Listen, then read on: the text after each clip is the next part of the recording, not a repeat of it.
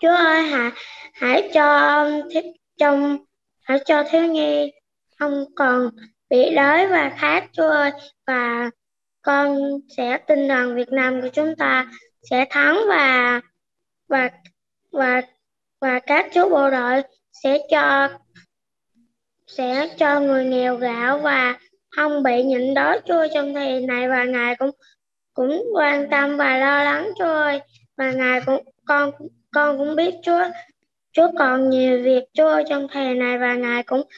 và ngài cũng cho cho các các các bạn nhi trong zoom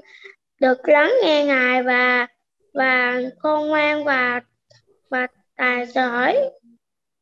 và lắng nghe lời ngài và